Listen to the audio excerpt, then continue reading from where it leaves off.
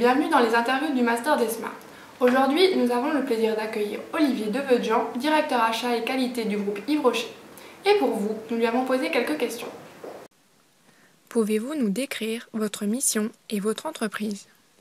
Alors, Comme beaucoup euh, de directeurs d'achat, je pense que la mission, en tout cas celle que euh, je me suis euh, véritablement assignée, c'est la création de la valeur pour l'entreprise et l'augmentation de la masse de marge. Donc ça, ça se décline finalement autour de trois axes. Un axe qui est la gestion du risque, gestion de défaillance financière, gestion de l'image pour l'entreprise.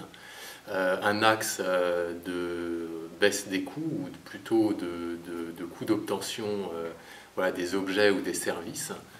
Donc il doit comprendre à la fois le coût d'acquisition mais aussi le coût d'utilisation. Euh, donc c'est pour ça que chez Yves Rocher, nous, on a une direction achat et qualité qui intègre vraiment très intrinsèquement, et parce qu'on dit beaucoup dans le domaine de la partie cosmétique, euh, sur cette partie vraiment euh, obtention du meilleur rapport qualité-prix, à la fois sur des packaging, à la fois sur des matières premières, mais ça s'étend bien évidemment à la partie service. Le troisième axe, c'est l'axe de création de l'innovation. L'innovation, c'est le monopole de personne.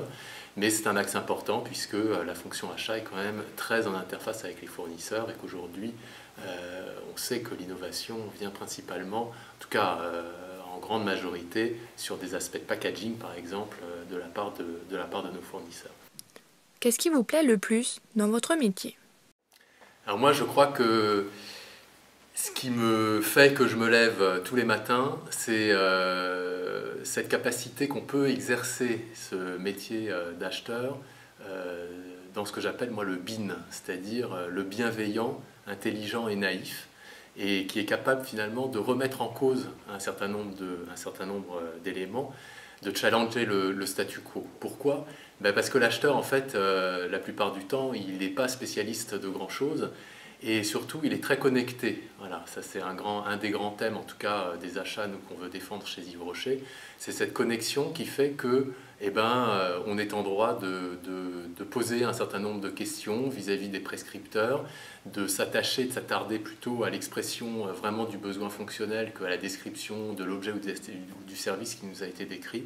Et ça, c'est absolument fondamental parce que je crois en particulier que c'est un élément moteur aussi de motivation pour les équipes qui font la composante, qui sont la composante de nos équipes achats. Pourquoi avez-vous décidé d'intervenir au sein du Master d'ESMA Le Master d'ESMA, pour moi, c'est un master qui est très ouvert sur le monde de l'entreprise. Et euh, force est de constater que euh, sur les quelques années finalement de contact que j'ai pu avoir avec ce master, euh, j'ai été en contact avec des étudiants, bien évidemment, donc c'est une richesse pour les étudiants de pouvoir avoir accès à des professionnels, mais aussi en tant que professionnel, c'est aussi l'opportunité de rencontrer eh ben, mes, mes, mes, collègues, mes confrères euh, d'autres sociétés, d'autres entreprises qui exercent le même métier que moi, qui exercent le même métier que moi dans des environnements différents. Et du coup, euh, c'est aussi véritablement euh, une plateforme d'échange que je trouve très riche.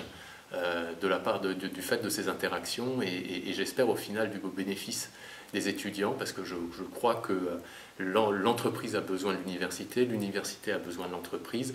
Les formations auxquelles euh, finalement les étudiants du DESMA ont accès sont des formations qui sont enrichies par ce contact en entreprise et qui doivent véritablement faciliter l'intégration des étudiants dans la vie active.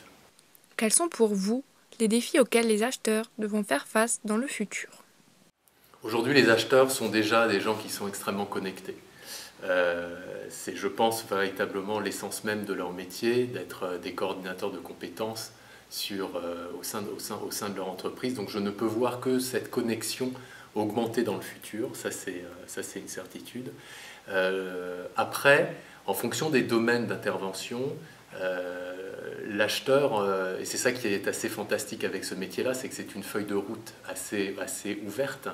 Et derrière, alors on peut imaginer euh, de plus en plus finalement des interventions de type euh, lean vis-à-vis des, vis-à-vis des fournisseurs, aller travailler sur la recherche des inefficacités, ce qui fait peut-être sortir aussi euh, l'acheteur du carcan un peu qu'on peut imaginer de la stricto, stricto sensu la comparaison de la structure de coût sur des fichiers barbares, des fichiers Excel, et que euh, l'acheteur rentre de plus en plus en contact avec finalement euh, ses fournisseurs, de certes à être un vrai passeur. Et je pense que le métier d'acheteur, c'est un métier euh, qui s'orientera de plus en plus vers un métier de passeur entre l'entreprise pour laquelle il travaille et les fournisseurs vis-à-vis -vis duquel il étend son action.